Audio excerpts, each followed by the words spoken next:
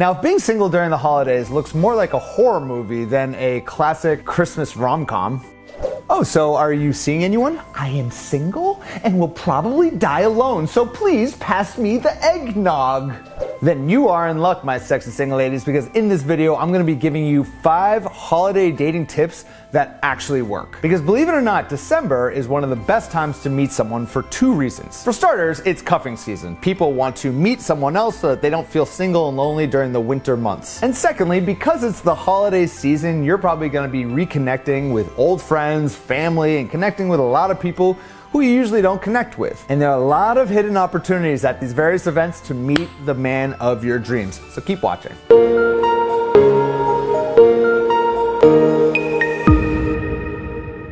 All you sexy single ladies? Adam LaDolce from Sexy Confidence, where I help you create your love story. And for myself, as well as the rest of the team here at Sexy Confidence, we just want to say thank you for being an incredible part of this community. It's been a huge year for all of us, and I look forward to continuing serving you through 2020. And mark your calendars because on January 1st, 2020, I'm going to have kind of a weird video coming out for all of you who are feeling a little bit hungover on New Year's Day. So make sure you subscribe if you're a new viewer because you're not going to want to miss this one. So let's jump into those five holiday dating tips that actually work. Tip number one is when you go to a holiday party, be the most festive person at that party. If you're going to an ugly sweater party this holiday season, you better wear the ugliest sweater in that entire party. Or you're going to a holiday work event, wear a Santa Claus hat. You don't need to be Christian to do that. Or if you're Jewish and you're going to an event at your temple, I don't know, wear like a Hanukkah hat if something like that exists. And I'm gonna Google this after, so we'll add it in editing. If a Hanukkah hat exists, let's put it on top of my head and see what it looks like. So, assuming that hat does exist somewhere on the internet,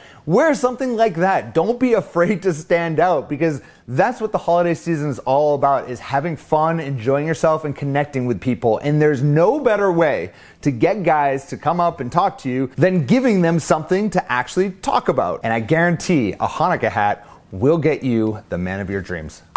Holiday dating tip number two is to ask a guy his favorite holiday drink. I don't know, maybe you're standing at Starbucks trying to decide what's your favorite coffee you want to drink, and I don't know, there's a nice guy right in front of you. Ask him what is his favorite holiday coffee? Or maybe you're at a party or an event and there's a bar there and there's a guy at the bar. Maybe you could ask him, what is like a really festive cocktail I could order right now? It's a very subtle yet effective way to start a conversation. Oh, and by the way, if he offers to buy you a drink, make sure you say this. Ooh, I can tell you're quite an elf a male. Get it? now, holiday dating tip number three is to go to every single holiday event you can possibly go to. I remember back in the day, back when I was single many years ago, there was this holiday event called the Matzah Ball, and this was for Jewish singles to meet one another the night before Christmas. And it was such an epic party that I just had to go. Plus, most of my friends are Jewish because I come from a Jewish town. And believe it or not, when I would go there, I would meet a lot of people. And quite frankly, it didn't really matter my religious affiliation. It was just a great way to get out and meet new people. So, regardless of your religious affiliation or what holiday you are celebrating this holiday season, I really recommend you take advantage of all the different holiday events that are going on out there. Get your girlfriends together, go out, go make it happen. This is a really festive and friendly time. Holiday dating tip number four is that when people ask you if you're single, I want you to be single and proud. For most people who are single this time of year, you just kind of feel like about your single status, which causes you to kind of lie a little bit. If someone asks you,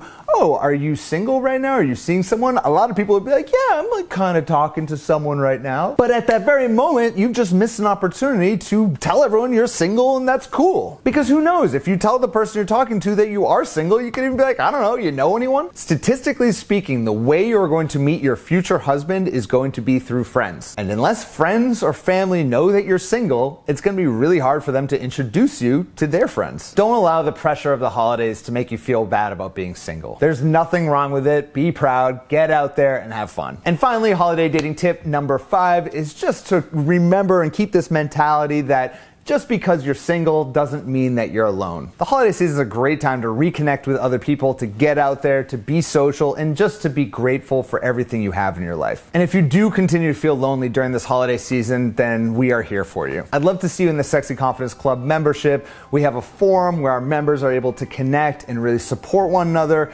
You can also join me on live coaching calls where I'll be able to answer all your questions and be able to really coach you and mentor you on your path toward finding love. And at the same time, you'll be able to access all of the courses that are available in the Sexy Confidence Club as a member. You can join today and you won't pay anything until 2020 at this point. So we have a free 14 day free trial. So I'd love for you to try that out if you are at all feeling lonely because this membership is just full of incredible members who just help each other through the ups and the downs of dating. So thank you so much for being a part of this incredible community.